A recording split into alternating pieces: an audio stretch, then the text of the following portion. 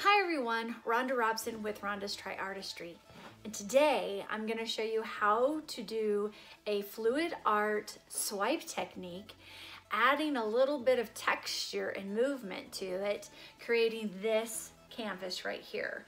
Um, I love it because it's got so much movement and texture. And then if you notice, I put gold leaf on it as well, just to add just a little bit of bling, something different.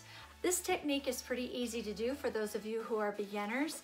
And so I'd love to be able to show that to you and exactly how to do that. So don't forget to subscribe and don't forget to click the notification bell and tell me what you like about this one. I've got one more of these that I'm gonna be doing as well. So I have a couple of these that I'm doing and this one has a little bit more movement in it than the next one, um, but I can't wait to show that one to you as well. But we're gonna talk about this one today. All right, let's get you down on the canvas. Bye for now.